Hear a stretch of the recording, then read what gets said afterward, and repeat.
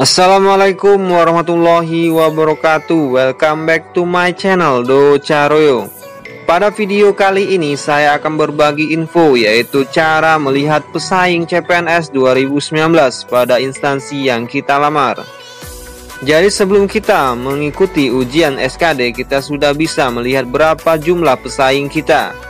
Dan kita bisa menentukan dan memperkirakan peluang yang kita dapatkan untuk lulus CPNS 2019 dan jangan lupa untuk belajar serta berdoa.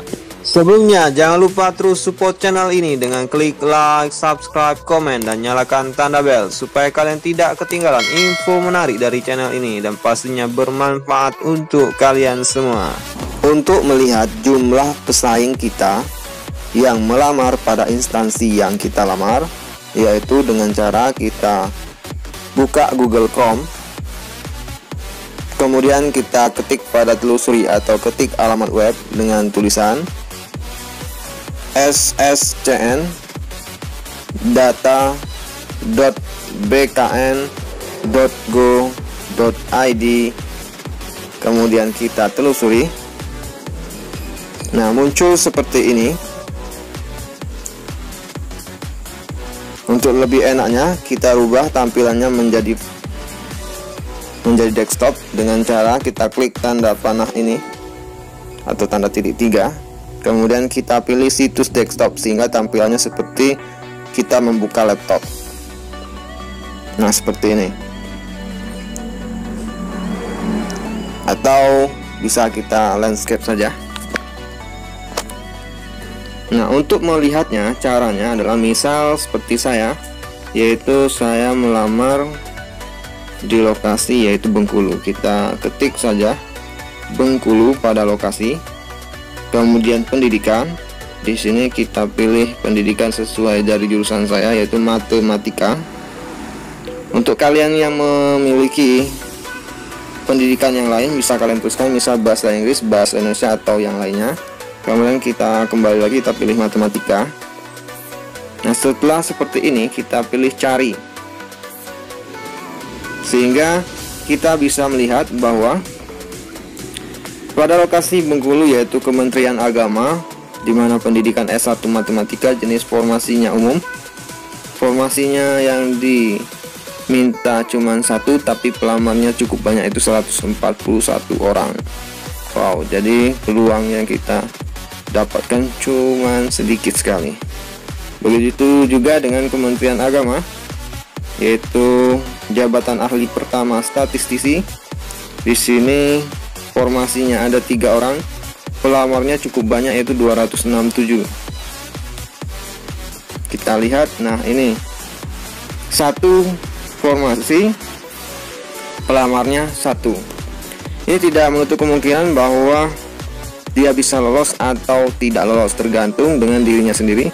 Apakah dia bisa mendapatkan nilai yang terbaik atau tidak karena ini lulusan cum laude ya. Ini cukup banyak. Pemerintah Kabupaten Bengkulu Utara jabatan ahli pertama guru matematika S1 pendidikan matematika umum jalurnya atau formasinya umum. Nah formasinya satu yang diminta tapi yang melamar cukup banyak 94 orang. Artinya yang akan tersisih yaitu sebanyak 93 orang pada penempatan tersebut.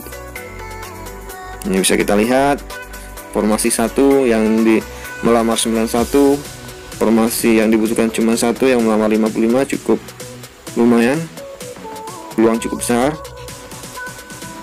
195 ya. Nah di sini bisa kalian lihat ternyata ada yang tidak melamar atau berminat pada yaitu pemerintah Provinsi Bengkulu di mana jabatan yang ditawarkan yaitu ahli pertama guru matematika pendidikan S1 pendidikan matematika di mana di sini penyandang disabilitas. Formasinya satu cuman pelamarnya tidak ada artinya ini tidak akan terisi. Nah bisa kita lihat selanjutnya. Misal kita melamar bukan di sini bukan yang ini maka kita bisa melihat pada halaman selanjutnya. Kita pilih next. Nah sekarang kita lihat ke atas. Tuh. Misal saya melamar di pemerintah Kabupaten Bengkulu Utara, jabatan ahli pertama guru matematika, lokasinya yang sudah memilih di SMPN 35 Bengkulu Utara. Pendidikan satu pendidikan matematika, formasinya umum. Ya, jadi formasi, formasi yang dibutuhkan satu yang melamar sebanyak 84 orang. Ya, lumayan. Jadi kita bisa mengetahui dan memperkirakan bahwa pesaing kita cukup banyak. Jadi jangan terlalu berkecil hati. Kalian bisa untuk mengalahkan semuanya dengan cara kalian belajar dengan baik-baik dan berdoa kepada yang kuasa untuk diloloskan tes CPNS tahun 2019 pada tahun ini. Semoga itu terwujud. Amin. Kita semua lolos menjadi ASN 2019. Cukup sekian tutorial dari saya. Semoga tutorial untuk melihat pesaing ini menjadi motivasi kalian bagi yang melamar di uh, CPNS 2019. Semoga tutorial ini bermanfaat. Kita ketemu di tutorial selanjutnya. See you next time. Bye bye. Assalamualaikum warahmatullahi wabarakatuh.